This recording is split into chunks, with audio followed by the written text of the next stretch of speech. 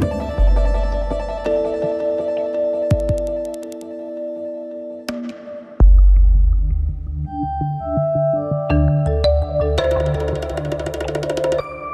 Dans la Lorraine sidérurgique, le gueulard a toujours désigné la partie haute des hauts fourneaux dans laquelle on mettait le minerai à fondre, mais aussi la sirène qui rythmait les journées des ouvriers pour les Parisiens et les habitants d'autres régions de France.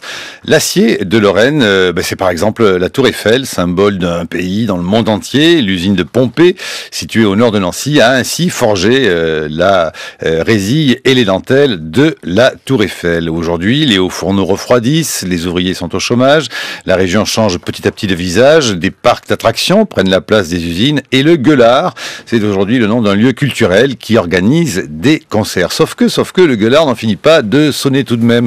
Il y a le Gueulard saumonné des pages économie du Figaro avec un entretien exclusif pour le Figaro du PDG d'ArcelorMittal qui fait le bilan de l'affaire Florange et qui dit le monde entier a été surpris quand la France a parlé de nationalisation. Il refuse que l'on doute de ses engagements, dit-on dans le Figaro, et explique ses décisions au nom de la pérennité de ses activités en France. Ça, c'est pour le gueulard saumon. Et puis, il y a le gueulard euh, lorrain, euh, le républicain lorrain, dans la nuit, sur son édition euh, .fr, fait part d'un document cité par la CFDT indiquant que Florange est un des sites les plus rentables du groupe ArcelorMittal.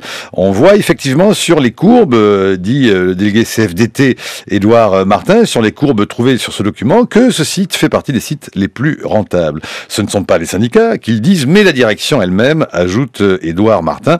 Alors selon donc le Républicain Lorrain daté de ce jeudi, qui a consulté ce document, en mai 2011, juste avant l'arrêt du haut fourneau de Florange, le coût alors là, soyez attentifs, le coût de la bobine à chaud est équivalent à celle de Dunkerque. Déduction faite d'un surcoût lié au transport, Florange est au même niveau que Gand, le meilleur élève de la classe ArcelorMittal, ajoute le quotidien, précisant que le document est une simple feuille A4. Alors redonnons la parole en une dernière instant à Édouard Martin. Bonjour Laurent Comaille. Bonjour. Vous êtes maître de conférence en histoire contemporaine à l'Université de Lorraine. Voici ce que dit euh, Édouard Martin. Il dit que les experts en tout genre, que les experts en tout genre cessent de dire que la France peut se passer de sa sidérurgie et qu'elle n'est plus rentable. Bon, voilà, tout trac, l'actualité du jour, monsieur l'historien. Comment démêler ce que vous, à la fois, observez depuis tant d'années sur l'histoire longue euh, des mythologies euh, diverses et variées de l'acier lorrain forgé tantôt par, euh, et à la fois les ouvriers, les patrons et les politiques, vers un éventuel refus de déclin, et puis au fond ce déclin qui serait peut-être fabriqué selon d'autres documents à l'appui, mettant beaucoup de conditionnels.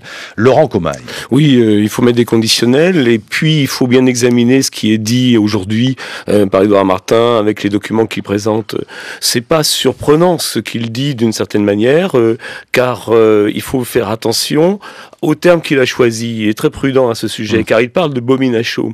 Alors, c'est-à-dire voilà, expliquez-nous tout ça un peu, voilà, parce que là, c'est-à-dire qu'on est déjà au-delà du haut fourneau. Ça, quand on parle d'acier, on évoque toujours le haut fourneau et l'acier. c'est un raccourci. C'est un raccourci parce que du haut fourneau ne sort que de la fonte. Et pour arriver à l'acier, il faut le transformer, il faut transformer cette fonte, il faut passer par une aciérie, avec différents moyens de passer de la fonte à l'acier, de plus en plus performants, bien entendu, avec toutes sortes d'aciers qui comportent euh, des adjonctions de nickel, de chrome, etc., euh, plus ou moins de carbone en fonction des, des utilisations qu'on veut en faire. Et le fait que euh, le site soit rentable, quand on arrive au niveau de la bobine à chaud, c'est pas tout à fait surprenant. Et je pense que Edouard Martin a raison de mettre ça en évidence. Et cela suppose euh, un certain nombre de choses, à savoir que s'il y avait une reprise euh, du site, de l'installation, euh, ça supposerait pas seulement les hauts fourneaux, mais également une partie d'aval.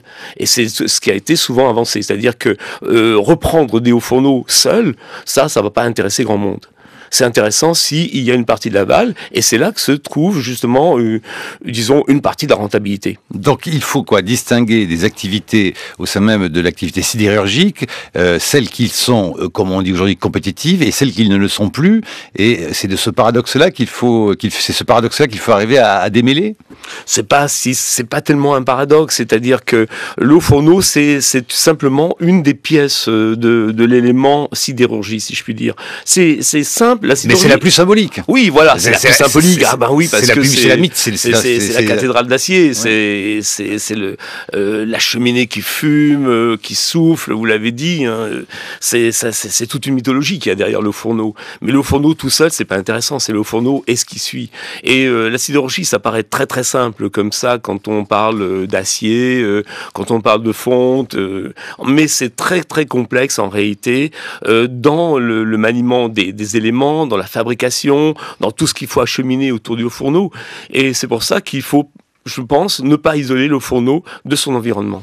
Alors, il faut bien, dire que s'il y a autant euh, de passions qui parfois euh, agacent certains commentateurs autour de l'actualité de Florange et de ces 629 euh, salariés qui seraient éventuellement re- recasés ailleurs et avec avec un, débouché autre que leur activité actuelle, c'est quoi? C'est que et certains disent au fond que pourquoi fait-on autant d'histoires autour de 629 personnes alors que Jacques Attali ici même disait l'autre jour alors qu'il y a euh, euh, des mises au chômage euh, constantes tout le temps euh, en France. Mais c'est parce qu'il y a quand même un symbole là qui est très fort, c'est que l'acier, cette histoire de la sidérurgie, c'est la France, monsieur, depuis euh, 1704. Oh, c'est la France depuis ah, 1704 à Hayange. D'ailleurs, je rappelle au passage que les hauts fourneaux sont à Hayange et, et non pas à Florange. Florange, ce sont les, les bureaux d'ArcelorMittal Lorraine. Euh, oui, c'est le mythe. C'est- un grand mythe. La sidérurgie, c'est l'acier, c'est la construction des armes, de la puissance économique au 19e siècle et pendant une bonne partie du 20e. Et puis, c'est Enfin, la Lorraine. ce qui du coup n'est pas seulement un mythe, c'est la, la réalité Ah oui, d'un oui, essor oui, industriel et économique. Absolument, mais c'est un une, une réalité qui, qui est montée au niveau du mythe parce que c'est la- l'acier a symbolisé l'industrie lourde, la puissance. euh, euh, quand on disait l'Allemagne, la puissance allemande, on voyait Krupp derrière. Et quand on parlait de la puissance française euh, avant 14, c'était Schneider, c'était le, marchand de canons, c'est le comité des forges. Il y a tout ça, bien entendu. Et puis pour la Lorraine, c'était quelque chose d'extrêmement important. Pour beaucoup de Français ne connaissant pas la région, la Lorraine, c'était avant tout ses hauts fourneaux, c'était c'était Longwy, c'était Hayange, etc. Le ciel rouge. Et ce sont des histoires de famille. Des histoires de famille, oui, des histoires de famille pendant un certain temps, mais jusque, on dira jusqu'aux années 60, au moment où les choses se sont compliquées, où les, euh, capitaux dans les différentes euh, sociétés se sont entremêlés pour devenir quelque chose de relativement abstrait. Euh, Vous dites que au fond, il y a un moment où l'industrie de l'acier montre ses faiblesses que finalement euh, on ne veut pas nécessairement euh, assumer de quelque Oui. côté que l'on se Tout trouve, des Tout ouvriers, du patronat euh, aux hommes politiques, mais c'est en fait tout de suite après la Seconde Guerre mondiale. Ça, c'est l'interprétation que je, que je donne. C'est-à-dire qu'au lendemain de la Seconde Guerre mondiale, on a un appareil industriel qui est un peu vieilli. Et puis surtout, on a une multiplication de, de petits sites. Il y a des usines qui fabriquent la même chose à 5 km l'une de l'autre. Et à ce moment-là, où on redémarre l'économie française, où on est en pleine reconstruction, il y avait la possibilité de tout restructurer. Et ça, on l'a pas fait. On l'a pas fait Alors qu'est-ce que, ça, cela voulait dire quoi de tout restructurer après Tout restructurer, ben, ça voulait dire à ce moment-là fermer certains sites et puis mettre de l'argent, investir sur de nouvelles installations avec des hauts fourneaux puissants, euh, de grosses capacités, ce qu'on n'a pas fait à l'époque. Et pour quelle raison? Pour quelle raison? Même d'une part parce que il y avait peut-être un manque de capacité d'investissement de la sidérurgie elle-même. Ça, ça a toujours été plus ou moins un problème de la sidérurgie. Et euh, il lui fallut, à ce moment-là, nationaliser euh, la sidérurgie, ce qui n'a pas été fait. Euh, non plus en Angleterre, d'ailleurs, qui était dans le même processus économique que la France à cette époque. C'est un des seuls secteurs industriels, vous dites, après la Seconde Guerre mondiale, qui au fond échappe à la nationalisation, Et- contrairement à, à l'ère du temps, à, à la, à la sortie de la Seconde Guerre mondiale. oui, c'est-à-dire que... les- Mais les- pour quelle raison? Vous l'expliquez très non, mais vous l'expliquez. Je, moi, je, je crois l'avoir Bon, compris euh, en vous lisant. oui. Mais pour quelle raison? Vous parlez notamment quand même de la question à la fois industrielle et, et politique, où au fond tout se mélange quand même beaucoup. Oui, oui, tout à fait. euh, où euh, dans les gouvernements ou dans les hautes instances politiques, on, se retrouve entre plus ou moins un cousin qui, Schneider, à fait. au plus près du général de Gaulle, et que finalement là aussi, non, mais il y a une sorte de nationalisme patrimonial industriel Ah oui, quoi, qui, qui est très très fort dans l'idée qu'il ne faut surtout rien toucher. Euh, aussi fort que chez les syndicalistes ouvriers qui disent qu'il ne faut rien toucher. Oui, oui, il y a, alors c'est- il y a- il y a une culture de la sidérurgie qui, est partagé d'une certaine façon par, par les ouvriers et les syndicats, d'une certaine manière. On voit très bien au moment des, crises du milieu des années 60 vers le, le, plan professionnel de 1966 jusqu'à la crise de 75, il y a une sorte de consensus autour de l'outil, autour de la sidérurgie entre patronat et syndicat, même si les discours peuvent être violemment opposés sur les conditions de travail ou sur les salaires, il y a une sorte de culture partagée de, l'outil sidérurgique. Et puis c'est vrai que la plupart des, acteurs de ce monde euh, n'ont pas voulu toucher euh, à l'appareil de production parce que ben, d'un côté des élus, euh, il y a des voix. Restructurer, ça veut dire fermer des sites, ça veut dire des écharpes de mer qui peuvent sauter, ça veut dire des sièges de députés qui sont en jeu, ça veut dire une implantation locale qui serait remise en cause. Du point de vue des industriels, on est dans un système assez extraordinaire que celui de la sidérurgie, où, euh, pour des raisons euh, capitalistiques et le fonctionnement de, des entreprises à l'époque, euh, on est en quelque sorte dans un monde où tout le monde se tient par la barbichette. C'est-à-dire, euh, si tu touches à mon site, euh, il faudra que, on touche aussi à ton site. Euh, et finalement, il y a une sorte d'autoblocage comme ça de la sidérurgie au niveau lorrain autoblocage qui va se dénouer un peu quand on va créer le site de Dunkerque et le site de Fos-sur-Mer. Mais ça, c'est encore une autre histoire. Et pourquoi crée-t-on, justement, cela dit, oui, mais c'est intéressant, le site de Dunkerque et de Fos-sur-Mer? Et quel, effet cela va avoir, évidemment, sur la Lorraine, la Lorraine au cœur d'acier? Sur la Lorraine au cœur d'acier, quelque sorte, euh, c'est dramatique parce que là, on est dans un autre monde. En effet, euh, il faut rappeler que la sidérurgie lorraine est tout à fait euh, extraordinaire, sortant de l'ordinaire donc, par son implantation, puisqu'elle est sur du minerai de fer alors que la plupart du temps, les entreprises sidérurgiques se sont implantées sur le charbon. Tout simplement, je vous explique ça rapidement, c'est une question de tonnage. C'est-à-dire que il faut beaucoup de charbon, beaucoup de coques plus exactement, pour alimenter le fourneau. Et c'est ça qui fait les gros volumes. Euh, sauf, sauf en Lorraine, où on a un minerai de fer à faible teneur. On est autour de 30%. Et dans les années 60, quand on va accélérer la mécanisation, on va mettre des, des engins à moteur explosion dans les mines, etc., on va voir la teneur en minerai descendre. Donc on est dans des volumes encore plus importants. Et c'est pour ça que, à cause de ce volume minerai de fer, que la sidérurgie lorraine s'est implantée sur le minerai. Or, or euh, avec euh, le développement des, minéraliers, euh, etc., dans, l'après-deuxième guerre mondiale, le minerai de Brésil, de Mauritanie, etc., peut arriver en France dans des conditions extrêmement compétitives et d'une minerai qui est souvent à 60% de teneur. Le double. Vous prenez un morceau de minerai lorrain, dans les mains, vous avez l'impression d'avoir de la roche. Vous prenez un morceau de minerai brésilien dans la main, celui vous avez qui, alors celui qui arrive par bateau à Fos-sur-Mer. Voilà, est compétitif, il revient moins cher que le minerai lorrain.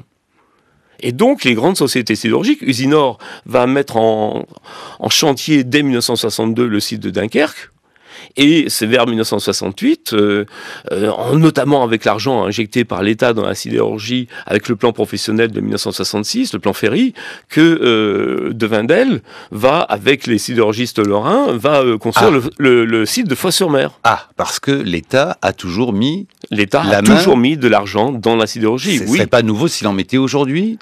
Ça serait pas nouveau. Mais attention, aujourd'hui, nous sommes dans des conditions radicalement différentes du point de vue du droit international. Qu'est-ce qui distingue, par exemple, la demande d'un Jean-Luc Mélenchon, d'un Arnaud Montebourg sur la nationalisation, euh, justement aujourd'hui, euh, d'ArcelorMittal, par rapport à, aux périodes précédentes où l'État mettait euh, régulièrement beaucoup la main à la poche? L'État a mis beaucoup la main à la poche euh, jusque, disons, aux années 84, euh, 86. Oui, parce qu'un jour, ça n'a plus appartenu à la France, cette histoire-là. Ah, ah, ah. là, là, on est dans des choses différentes. Ça n'a plus appartenu à la France euh, quand on, a créé Arcelor. Arcelor, euh, là aussi, il y a des réactions politiques qui sont des réactions épidermiques, qui sont des, des réactions, disons, qui sont du domaine de l'affect. Euh, quand on a vu les gens s'agiter avec l'OPA la, de, de Mittal sur Arcelor en disant euh, il faut sauver notre acier, etc., notre acier n'était déjà plus notre acier. C'est-à-dire que Arcelor était une société... Mais on faisait comme si. Voilà, voilà. C'est-à-dire qu'au niveau local, au niveau français, disons le local français, euh, Arcelor était considéré comme une société française. Et elle a été luxembourgeoise, de droit. De droit, était luxembourgeoise d'une part, avec d'autre part, c'est là où il y a eu aussi un, risque qui a été pris par les décideurs quand on a créé euh, Arcelor, c'était la réduction euh, du capital, euh, disons, des, institutionnels par rapport au capital flottant. Et c'est là qu'entre autres l'économie a changé et que les OPA ont pu se succéder les unes aux autres, comme celle de. Quand on a privatisé Usinor, on était à 20% de capital flottant. Quand on a privatisé Arcelor, euh, quand, ah, quand Mittal pardon a lancé son opération Arcelor, on est à 80% de capital flottant. Lorraine Cœur d'Acier, bonjour. Je vous rappelle que vous êtes sur 100 MHz en modulation de fréquence et que notre numéro de téléphone est le 223 22 35. Voilà, ça c'était euh, le jingle, entre autres, euh, le répondeur de la radio, hein, Lorraine Cordacier, que vous connaissez bien, euh, Laurent Comaille, d'ailleurs à, écouter, à lire, à retrouver toute l'histoire de Lorraine Cordacier, un morceau de chiffon rouge, extraordinaire édition, hein, documentaire radiophonique, Pierre Baron, Raphaël Mouterde et Frédéric Rousiès, 5 CD, le DVD du film. C'est un document, j'imagine quand même que vous, que vous connaissez par cœur. Connaissez par cœur, non, quand même pas. C'est, pas. Je suis pas trop sur la branché sur, disons, c'est la radio en elle-même et plutôt le contexte qui m'intéresse. Euh, quand, comment cette radio a été construite, bah, radio, radio, libre, euh, montée par la CGT, tout à fait, complètement illégal à l'époque, complètement, illégal, accueillant euh, tous les sidérurgistes et les femmes s'exprimant. Enfin, mais c'est pas la première. Hein. La mm. première, ça a été celle qui a été lancée, mais très très peu de temps par la CFDT sur le thème SOS emploi. Lorraine voilà. d'acier, c'est la riposte de la CGT en quelque sorte. Mm. Voilà, dans la rivalité entre les syndicats autour de, de la question d'Angouille. Aux éditions euh, VO. Brice Couturier, bah, c'est l'heure de votre chronique. Bonjour. Il y a la logique de l'économie et puis il y a les réalités humaines. La logique de l'économie est d'une froide rationalité. Elle nous dit que la production d'acier en Europe est en surcapacité, comme d'ailleurs dans le monde entier. Ce matin, François Bourguignon dans Les Échos dit que 25% de l'acier produit au cours des quatre dernières années n'a pas trouvé preneur. Et que l'effondrement des ventes de voitures en Europe, l'un des principaux débouchés de la production d'acier, ne va pas arranger les choses. La logique économique, elle fait aussi observer que ce n'est pas le fait du hasard ou de la mauvaise volonté des gouvernants s'il ne reste que sept hauts fourneaux en France. Trois à Dunkerque, deux à Fosse, deux à Florange, et qu'ils n'emploient que quelques milliers de salariés. Dans les années 60, en effet, la sidérurgie offrait des emplois à quelques 150 000 personnes. Mais à partir de la crise dite du pétrole au milieu des années 70, l'économie s'est progressivement mondialisée. On a constaté, par exemple, que le charbon venu de Pologne ou même de la lointaine Australie coûtait moins cher que celui extrait de nos mines du Nord-Pas-de-Calais. Les charbonnages de France, eux aussi, avaient pourtant une belle histoire. Après la guerre, c'était même le premier employeur industriel de France avec 360 000 salariés en 1947. Mais en 2004, lorsque la dernière mine de charbon à Kreutzwald, en Moselle, a fermé, la tonne de charbon australien coûtait 40 euros, transport compris, contre 150 pour la nôtre. C'est la gauche qui a écopé du sale boulot, fermé la plupart des mines encore en activité dans les années 80. Aujourd'hui, le charbon, comme le minerai de fer, est importé. C'est pourquoi les hauts fourneaux rentables sont ceux qui sont situés sur l'eau, comme on dit, à proximité immédiate des ports de Dunkerque et de Fosse. L'agonie de la sidérurgie de Lorraine a commencé il y a longtemps. Certes, les élus locaux ont bataillé ferme pour défendre des sites de production qui ont fini malgré tout par fermer. Comme l'explique Éric Leboucher sur Slate, non seulement ces politiques défensives ont eu un coût financier considérable, mais la lutte pour l'acier a été perdante. Fin de citation. Les élus locaux auraient mieux fait de batailler pour diversifier davantage leur économie. Eli Cohen a très bien expliqué dans un autre article publié sur Telos pourquoi la nationalisation politiquement tentante était pratiquement, techniquement, légalement impraticable. Mission impossible, dit-il. Et comme l'explique Lakshmi Mittal lui-même dans le Figaro Écho de ce matin, je le cite, la réalité et qu'il n'y a pas eu d'acheteur pour les hauts fourneaux de Florange. Jacques Attali écrit sur son blog, je le cite, Le pouvoir politique ne peut pas maintenir des emplois dépassés ni des usines non rentables. Il peut par contre aider à protéger le niveau de vie des familles, perdant ainsi le revenu, en finançant des formations, des reconversions, de la recherche, des entreprises nouvelles. En effet, car à côté de ces réalités économiques, il y a les réalités humaines. Ces hommes, ces derniers mohicans des hauts fourneaux lorrains, ressemblent aux gueules noires des années 80 dont on fermait les mines. Ces mines avaient été leur enfer, mais elles faisaient aussi leur fierté. Ces réalités humaines, elles ont des incarnations. Dans les années 80, on s'en souvient, ce fut Jacques Chérec, avec sa moustache gauloise, son empathie virile et coléreuse, nommé préfet délégué pour le redéploiement industriel en Lorraine, une des têtes de la CFDT de l'époque. Son fils François sera secrétaire général de la centrale. Mais Jacques Chérec disait il faut retirer les hauts fourneaux de la tête des sidérurgistes lorrains. Et il se battra pour attirer de nouvelles industries sur place Et il y parviendra. Aujourd'hui, c'est le visage de Édouard Martin, un autre cédétiste, qui sur place à Florange, devant les hauts fourneaux éteints depuis des mois et face aux caméras de télévision, interpelle le Premier ministre, le visage blême, les traits tirés. Les 629 de Florange se sentent trahis. Sans doute eût-il mieux valu ne pas laisser croire que la volonté politique à elle seule pouvait avoir raison de la froide logique de l'économie, mais la France perd en ce moment 50 000 emplois par trimestre. À Florange, il n'y aura que des départs en retraite. Les chirurgistes ne sont pas les plus à plaindre, mais ils sont le visage d'une classe ouvrière exaspérée, déçue par la gauche de gouvernement et à laquelle il est urgent de rendre des raisons d'espérer. La chronique de Brice Couturier sur euh, franceculture.fr, Laurent Comaille.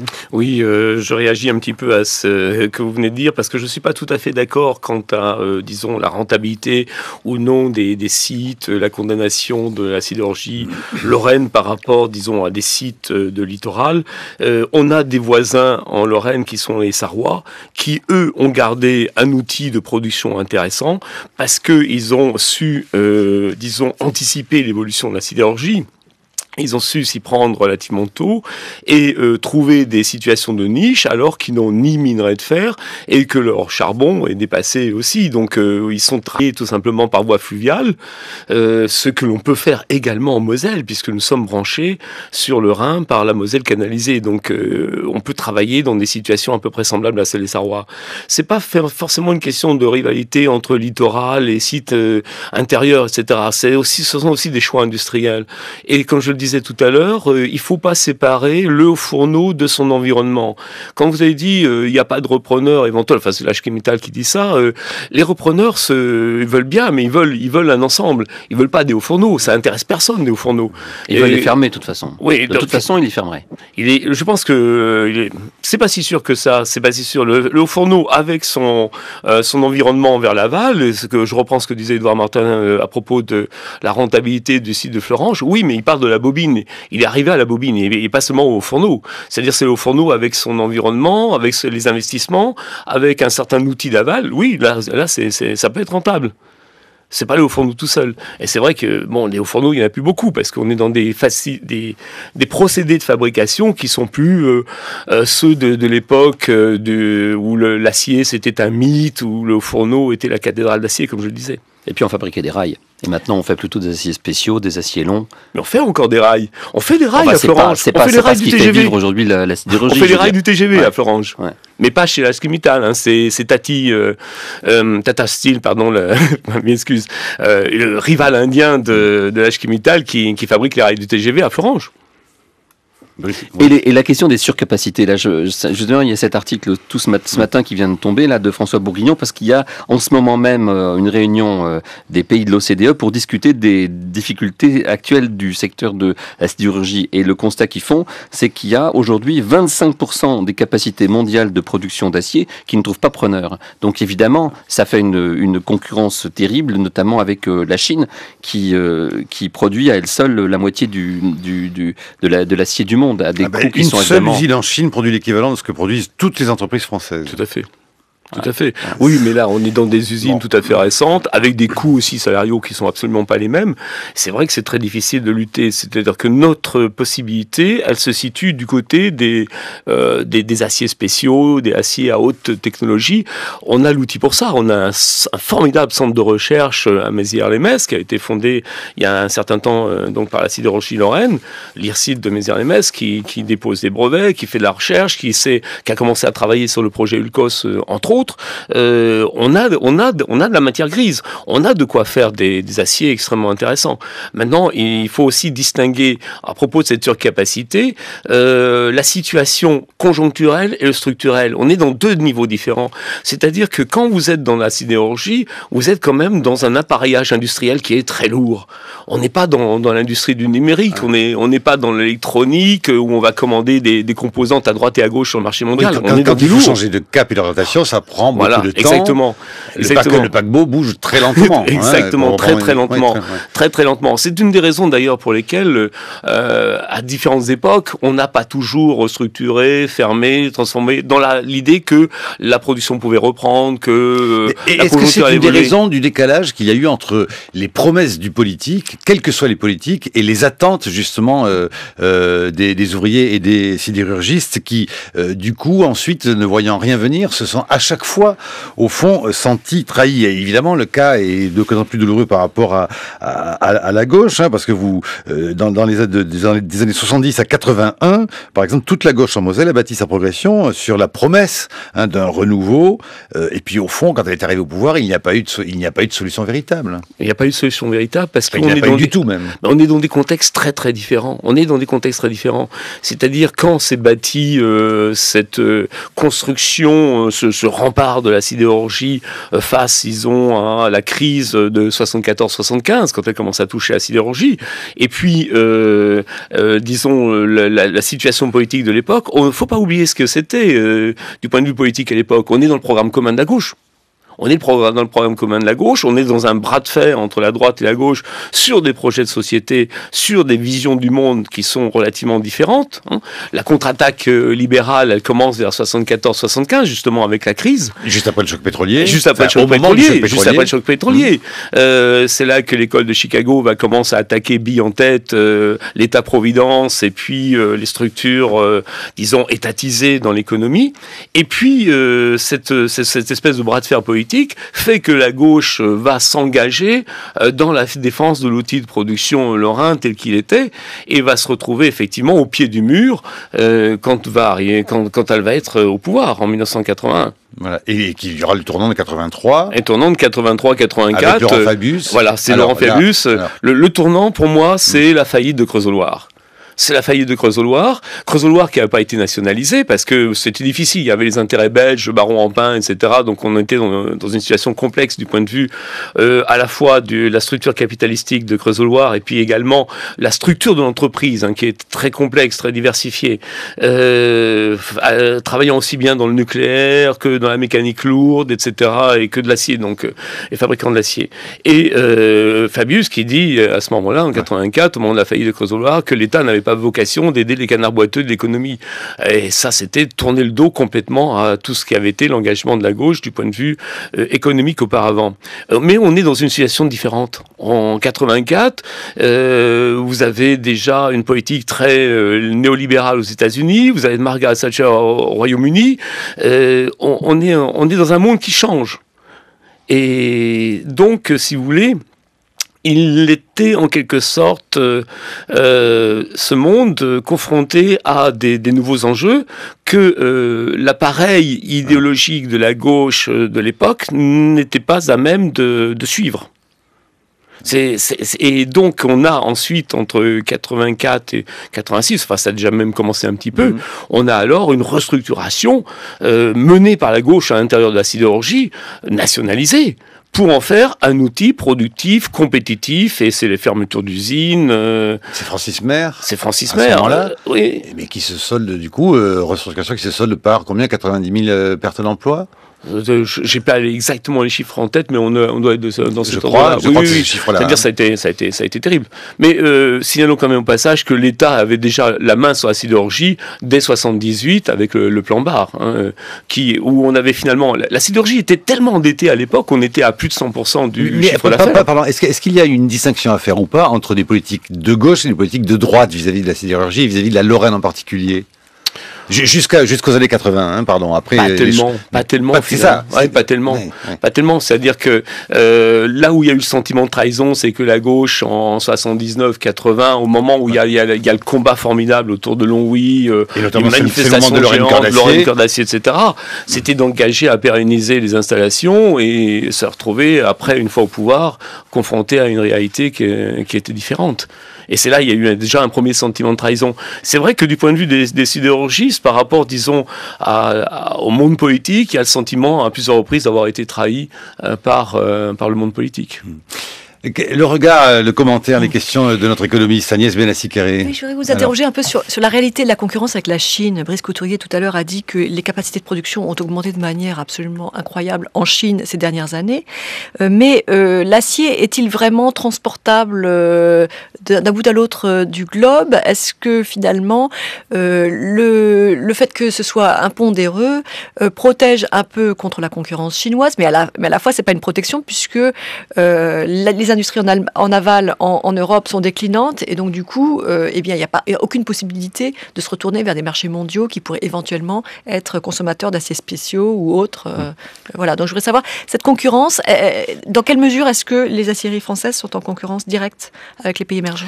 Ça dépend des produits. Laurent des, Comaille. Sur des produits de base, euh, oui. Euh, Aujourd'hui, l'acier peut être considéré effectivement comme un pondéreux. Et là, on l'a vu euh, dès la fin des années 70 aux États-Unis et au début des années 80, notamment avec la politique de Reagan, où un certain nombre d'industriels américains ont considéré que finalement l'acier était arrangé quasiment au même niveau qu'une matière première et qu'il valait mieux euh, pour l'industrie américaine euh, importer euh, soit des produits longs, soit des produits plats, ce qui va sortir en réalité de l'aval de l'acierie, hein, c'est-à-dire des produits longs du genre rond à béton, etc., ou des produits plats, la tôle de différentes épaisseurs, qui valait mieux quasiment importer ça plutôt que fabriquer. À l'époque, le, défi n'était pas chinois, il était japonais et coréen. C'était les japonais et les coréens qui étaient le danger pour la, les sidérurgies européennes et américaines. Est-ce que pour euh, comprendre au fond quand même pourquoi les choses se cristallisent à ce point, vous pouvez, euh, euh de manière plus courte que vous ne le faites dans vos très bons articles, très passionnants, Laurent Comaille, mais nous parler alors tout de même de ce qu'on pourrait appeler donc cette trilogie, parce que c'est quand même de là aussi que, que vient euh, et, que, et que, viennent toutes les passions euh, et, et, que l'on peut comprendre, parce qu'évidemment qu'il y a, euh, d'accord, la rationalité économique, mais il y a ce coût humain, euh, cette grande mythologie de la question du haut fourneau, de, de l'ouvrier, du, du métallo, qui est une figure qui est une figure importante, une sorte d'héroïsme industriel représentant la puissance industrielle française. Bon, vous parlez d'une trilogie qui fonctionne en même temps avec les conflits que l'on sait, mais une sorte de, de main dans la main entre maître de forge, l'usine, les patrons, et puis au fond cet espace-là qui, qui, qui, qui, qui, qui enferme et comprend à peu près tout le monde. Oui, mais cet espace qui enferme, qui comprend à peu près tout le monde, il s'est en quelque sorte effrité, effondré déjà euh, dans la structuration des années 80. Et même déjà un peu avant, c'est-à-dire que... Oui, mais vous écrivez qu'à une époque, d'accord, mais avant vous dites, il y avait un attachement, un attachement c'est vous qui le dites, quasi charnel entre le patron et ses employés. Tout à fait. Tout à fait, mais ça, ça a duré jusque vers 1960. C'est-à-dire que euh, ce, ce, pendant les années 60, il y a quand même une restructuration au niveau capitalistique de la sidérurgie qui fait que le lien qui pouvait exister entre le maître de forge, entre le patron et puis l'ouvrier sidérurgie se distend complètement. C'est-à-dire on est dans un, on est dans un monde anonyme. La plupart des... Et se distend d'autant plus que tout d'un coup un Indien qui arrive là, on se oui. dit qu'est-ce qu'il connaît à notre tradition? Non, mais il doit y avoir évidemment de, de ça aussi. Oui, il y a, y, a, il y a un peu de ça aussi, mais, mais on a déjà des dépassé ce niveau-là. On l'a mmh. déjà dépassé depuis longtemps. Le, le, le lien entre l'ouvrier le, sidérurgiste, entre le, haut fourneau, le, métal qu'on a entre les mains, et puis euh, le maître de forge n'existe plus dans les années 60. Vous avez un exemple très simple. Euh... Sauf que l'imaginaire est quand même toujours construit. L'imaginaire y est. Ah oui, mais encore maintenant là. L'imaginaire. Et ça, c'est extraordinaire. C'est qu'il est dans la tête des gens, dans les vallées sidérurgiques. Alors que le patronat, si je puis dire, euh, est devenu une sorte d'abstraction. Le, le, oui. patronat, le patronat paternaliste d'origine catholique, euh, c'était précisément, il est né là-bas, avec les maîtres de forge, avec les Vandelles, au tout début du 19e siècle. Donc en fait, c'est une, une, vieille tradition euh, du patronat catholique et paternaliste qui, en fait, est aujourd'hui qui se heurte de plein fouet avec une autre tradition qui est celle de ces patrons qui ont une vision, une stratégie mondiale, mmh. euh, qui euh, dispersent leurs sites de production euh, à travers le monde parce qu'ils visent le marché mondial. Donc là, on a quand même le heurt entre ce deux que dit, cultures. Ce que dit Mittal aujourd'hui dans, dans, dans, le Figaro, hein, il parle de, de, du marché global, hein, il prend oui. le terme anglais. Donc on, on, a bien là une espèce de choc culturel. On a un choc culturel parce que euh, les gens qui travaillent encore sur place dans les, dans les vallées comme celle de la Fench, à Hayange, à Florence, etc., ils sont les héritiers euh, de ceux qui ont lutté dans les années 70, les années 60, etc. Ils sont encore dans euh, cette tradition de la sidérurgie. Euh, quand on était, disons, dans les années dans les années 70, euh, l'idée que que le, la sidérurgie allait disparaître un jour était vraiment impossible à imaginer pour les gens sur place. Bah, c'est comme, faut- si- c'est comme si vous le disiez quand allez faire disparaître la Tour Eiffel. Voilà, les- exactement. Non, mais en plus, euh, Oui, au sens oui, propre du terme, Oui, enfin, les, la- la- les vallées étaient, étaient, étaient des, usines sidérurgiques les unes derrière les autres. Que ça allait cesser et disparaître, c'était inimaginable à l'époque. Je voudrais vous faire écouter euh, le cas d'un dessinateur, André Faber. On avait re- repéré ça. Francesca Fossati avait repéré l'article dans le courrier international du mois d'octobre. Euh, André euh, Faber, fils d'ouvrier, qui a fréquenté les Beaux-Arts de Metz, où il est graphiste et illustrateur. Il vit en Moselle, mais dans ses dessins, il n'en finit pas, au fond, et très beau dessin, de, raconter l'histoire du monde euh, et de la sidérurgie. Écoutez, donc, euh, André Faber au micro de Francesca Fossati. La sidérurgie, pour moi, c'était effroyable. Je veux dire, j'ai visité euh, les usines avec mon père, euh, j'ai eu la trouille, quoi. Je veux dire, c'est- une ville de ferraille, mais énorme, puissante, qui crache du feu, qui crache du bruit, qui, crache des flammes, qui, fout la trouille et tout. Et effectivement, quand mon père m'a fait visiter son usine, euh, son usine avec des, des bon bref, euh, avec quelques guillemets quoi, parce que lui appartenait pas.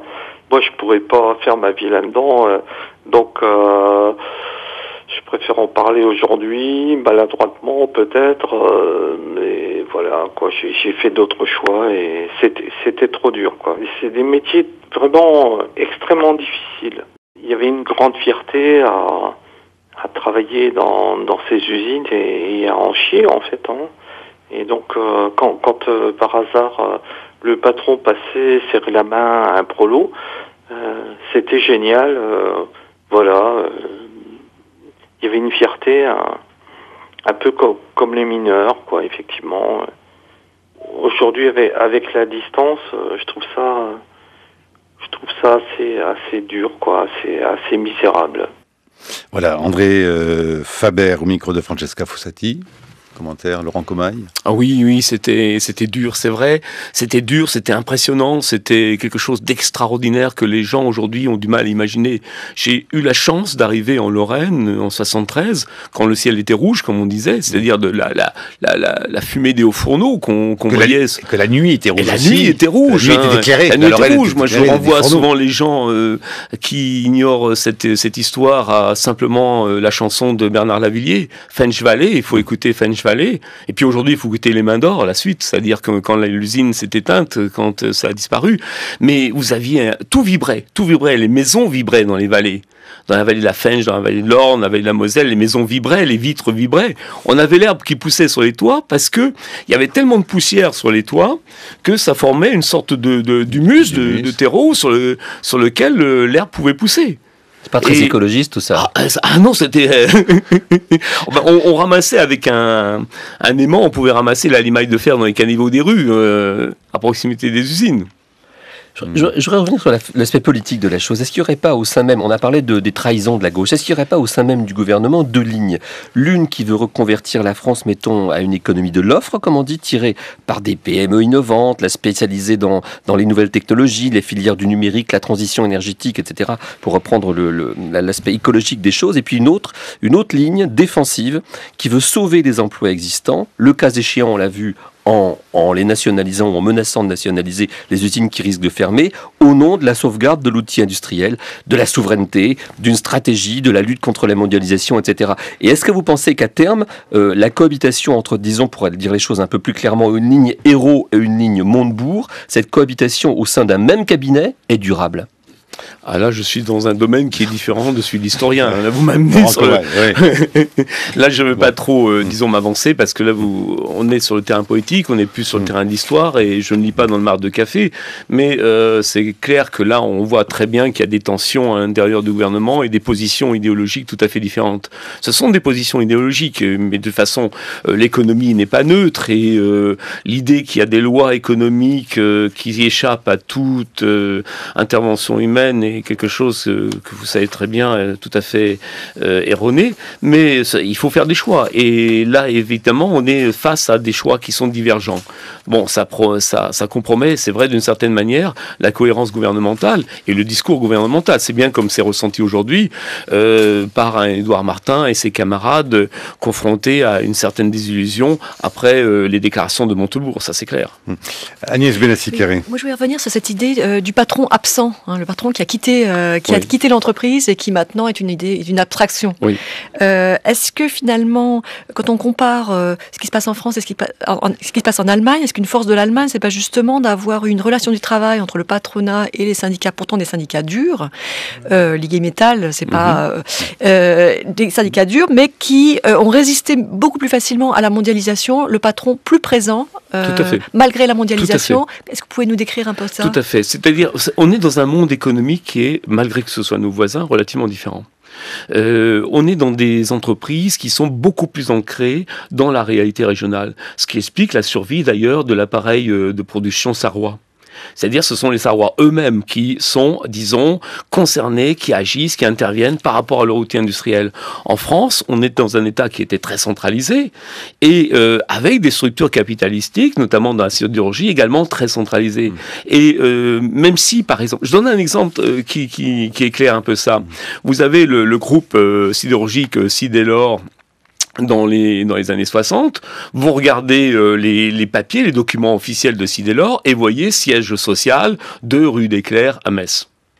Qu'est-ce qu'il y a de rue des Clercs? Il y a quelques bureaux, etc. Mais en réalité, l'essentiel des bureaux sont est situé à Paris. C'est-à-dire, en réalité, c'est dirigé de Paris. Et euh, c'est valable pour euh, même la société euh, Pont-à-Mousson, avant qu'elle soit absorbée par, Saint-Gobain. Pont-à-Mousson, le siège social est à Nancy, mais la direction réelle des affaires, elle est à Paris des années 60. Et il y a là des gens qui vont travailler avec des visions stratégiques qui sont celles du niveau national, voire au niveau international. hein. La France n'est pas dans, un bocal quand même, puisque euh, elle va intervenir à différents niveaux, au niveau européen, au niveau mondial également. Mais euh, il y a une coupure entre ce que vivent les gens dans les vallées, ce que vivent les gens au pied des fourneaux, et la vision des dirigeants. Et c'est vrai qu'on n'est plus dans cette relation charnelle, si on peut dire, entre un patron, euh, un labbé à Gorcy, un, des Devindel à Hayange et à Joffre, et, euh, et puis euh, la réalité des entreprises telles qu'elles se développent euh, dans les années 60-70. Oui, donc euh, la mythologie euh, avec euh, la question euh, justement de l'essor industriel français, la Tour Eiffel, et puis aussi après tout, après tout l'Europe. Après tout, Le. A de Oui. ces cas, c'est l'acier et l'acier Oui, de la Lorraine. Oui, oui. Et bon, c'est vrai que Le la symbole sidérurgie- est très fort aussi. Il est total. et à alors qui plus est dans les temps qui, par les temps qui courent, l'Europe le- va qu'un cas A comme acier. Oui, oui, tout à fait. Mais le- la sidérurgie française, elle y allait un petit peu à reculons dans l'Europe. Elle a eu beaucoup peur, disons, de, de la concurrence euh, euh, de la Roure. hein. C'était la, la crainte, c'était l'appareil sidérurgique allemand. Et euh, Oui, mais le discours, lui, qui vante l'Europe, il s'appuie notamment sur la question industrielle et celle de l'acier. Tout à fait, tout à fait. Ça a été un préalable extrêmement intéressant à la construction européenne. Euh, L'idée des, des fondateurs de l'Europe était de, euh, de passer par le biais économique pour obliger en quelque sorte la construction euh, politique. Et là, ça me fait penser à ce qui a été dit tout à l'heure à propos de, de l'union budgétaire. Euh, c'est, on retrouve ce même héritage parce que si on en est dans cette situation-là par rapport à l'union budgétaire euh, aujourd'hui, euh, comme disait Agnès tout à l'heure, quelque chose qui va contraindre à avancer du, point de vue politique, je pense que euh, on est dans un système qui a été bâti par le plan Delors euh, au milieu des années 80, entre 84 et 86, et je pense que Delors savait très bien ce qu'il faisait en mettant en route l'union économique et monétaire, sachant, sachant que selon les mécanismes qu'il allait euh, placer, il allait obliger quelque part euh, à déplacer une partie des débats au niveau européen et euh, établir euh, une nécessité quelque part de la construction politique. Je crois qu'il l'a fait de manière euh, si- tout à fait sciemment. Il Agnès voulait la construction politique et elle a été refusée par les Français. Oui, oui, mais, mais, mais il a utilisé ce biais. Il a utilisé ce biais. Ainsi que Schuman, regardez la déclaration Schuman. hein, vous voyez qu'on part sur le charbon et l'acier. Mais Schuman, dans sa déclaration, à plusieurs reprises, parle de fédération poli- européenne. Oui. De fédération européenne. C'était l'objectif. Et il a, ils, ont, ils ont bricolé la chose de façon à ce que progressivement on y arrive. Ça s'appelait créer des solidarités de fait. Voilà. Spillover en anglais. Mais je voudrais revenir à quelque chose que vous nous disiez au début. Vous nous disiez, si les Sarrois, eux, de, l'autre côté de votre frontière, on sont arrivés à préserver l'emploi dans le domaine de la sidérurgie, c'est parce qu'ils ont su anticiper les demandes du marché mondial. L'économiste Elmoub, Elmoub Moud, qui est un des grands spécialistes en France de l'industrie, estime que notre pays, c'est une interview qu'il donnait dans Libération il y a quelques mm. semaines, estime que notre pays devrait se doter d'un outil d'anticipation, afin précisément d'anticiper ces chocs industriels qui sont en général prévisibles, mais que nous sommes habitués à ne pas voir. Parce qu'en fait, les, aussi bien les responsables nationaux que vous décriviez à Paris, loin du terrain, que les, les élus locaux sur le terrain, en général, quand ils voient arriver une crise dont ils savent qu'elle risque d'emporter leurs usines sur place, font tout pour ne pas la voir jusqu'au dernier moment. Est-ce que, euh, au moins, puisqu'on ne peut pas remettre en route une, une, une stratégie, euh, une planification comme autrefois, est-ce qu'au moins on pourrait pas au moins créer ces outils d'anticipation euh, secteur par secteur qui nous permettraient peut-être d'avoir au moins une vue à moyen et à long terme sur ce qui va se passer Oh, je vous vois passer du statut d'historien à celui d'entrepreneur Ah oui, ça ne me déplaît pas. Euh, tout à fait, je pense que c'est une bonne chose. Il faut, il faut vraiment avoir des... Ils font euh, comment vos, vos, collègues sarrois de l'autre côté pour anticiper? Sur, sur quel type d'outils ils s'appuient? Ils sont pas tellement anticipés que cela. C'est-à-dire qu'en réalité, ils sont sur un marché différent. C'est-à-dire qu'en Allemagne, il y a eu une connexion beaucoup plus grande qu'en France entre, disons, euh, l'industrie de transformation, les industries mécaniques, l'automobile, etc., et la sidérurgie. Ce sont deux mondes qui ont marché la main dans la main pendant longtemps. On le voit très très bien euh, au moment où Ferry élabore le plan professionnel de 1966. On le voit encore au niveau du plan Bar euh, de 1978. On voit bien la différence qu'il y a entre le, mode de fonctionnement des sidérurgistes allemands en, qui, qui travaillent en liaison avec l'économie euh, nationale allemande en général, mmh. et puis une sidérurgie française qui vit dans une sorte de château fort. Oui, ce que oui, ce qu'on a dit depuis. Donc les Sarrois, les Sarrois, s'ils ont suivi en quelque sorte, s'ils se sont adaptés toujours à la été demande, un château fort. oui, oui, oui, oui, oui. S'ils se sont adaptés à la demande, c'est aussi parce que il y a des liens intenses euh, au niveau régional, mais aussi au niveau national entre les différents secteurs de, de l'industrie, euh, qui, qui a permis cette adaptation progressive. Sauf qu'un jour, le château fort, on s'en est pas rendu compte, était luxembourgeois et plus français. Et là, euh, la, mondialisation, a joué son, son, jeu. la mondialisation, ben, ce, ce, fut Arcelor. Et là, euh, c'est l'erreur du côté français, je pense, a été euh, de laisser se faire cette, cette construction d'Arcelor sans sauvegarder un certain nombre de parts réservées aux investisseurs institutionnels. Moi, je crois que c'est ça. côté allemand, il y a eu toujours si vous voulez, une très forte part de ce qu'on appelle les investisseurs institutionnels. Et là, on aurait pu le faire, on était en quelle année En 80 euh, la, euh, Arcelor, c'est 2002, je crois. Hein. Ah oui, c'est 2002. Euh, au moment où on a construit Arcelor, ah il lui fallut euh, un peu bloquer le capital, quoi, euh, et pas et pas mettre tout ce capital sur le marché, le capital flottant, donc ce que les ce que ce que chacun peut acheter sur le marché boursier. Agnès. Je crois que finalement, la, réponse à notre ami euh, Brice Couturier, c'est que c'est l'entreprise elle-même qui doit faire cette prospective. Et euh, mm. ce que nous dit notre invité, c'est que euh, ils l'ont très bien fait en Allemagne parce que l'information circule bien entre les secteurs et que d'autre part, il y a la vision à long terme qui a fait défaut à Arcelor. Mm. C'est ça finalement. Laurent Comaille. je pense que Arcelor avait une vision à long terme. Quand on regarde les déclarations de Dolé, justement, qui, qui, est obligé de faire une sorte de bilan au moment où il y a cette OPA de, de on voit qu'Arcelor s'était projeté quand même euh, dans une stratégie mondiale, euh, voir euh, comment Dolé met le, pied sur le marché brésilien, commence à élaborer des projets de ce type. Je pense que Arcelor était dans, une stratégie mondiale qui était extrêmement intéressante. Et c'est justement aussi pour ça que ça tentait Mittal, c'est qu'il y avait un outil là qui, qui un rival, un rival très dynamique et un outil intéressant à acquérir. Merci.